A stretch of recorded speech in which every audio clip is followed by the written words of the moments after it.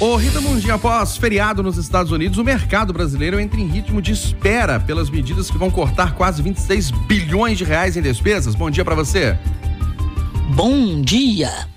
O mercado, em dia de movimento fraco, em razão do feriado nos Estados Unidos, foi comemorado ontem o Independence Day, o 4th of July, então tivemos uma queda muito grande na liquidez, no volume negociado, principalmente na B3. O volume ficou de novo abaixo dos 20 bilhões.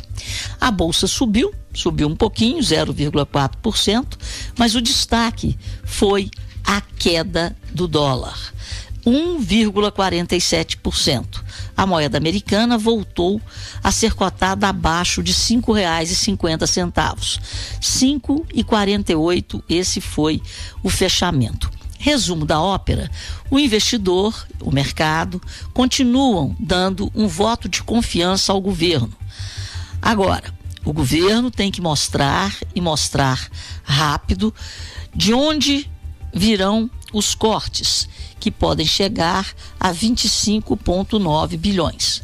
Segundo Fernando Haddad, Lula já deu o aval e esse corte aí de quase 26 bilhões em despesas obrigatórias devem ser cortadas do orçamento de 2025 o efeito dessa sinalização, dessa boa vontade com a responsabilidade fiscal por parte do governo, trouxe umas melhoras significativas nas curvas de juros, nos juros futuros negociados na B3, que ontem apontavam uma chance de alta na Selic na próxima reunião do Copom.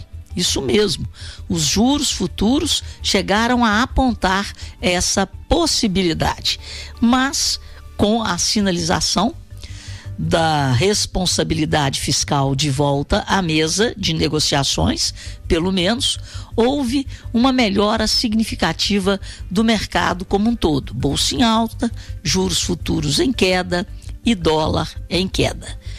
Nós teremos hoje o payroll, que são os dados do emprego nos Estados Unidos. A expectativa é com a criação de 200 mil novos postos de trabalho.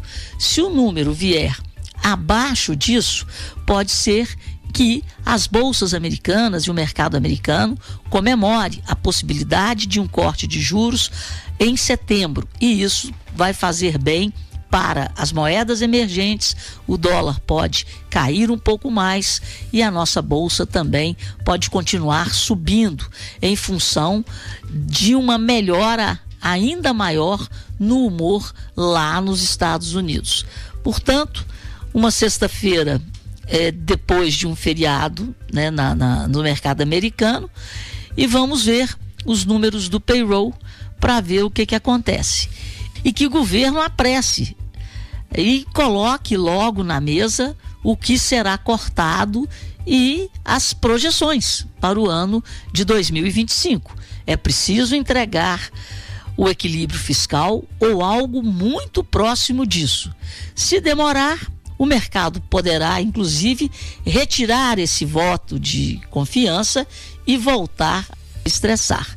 E o que a gente também deseja é que o presidente Lula continue mais calado sobre o mercado e sobre o papel do Banco Central. Rita Mundim, para a Rádio Itatiaia.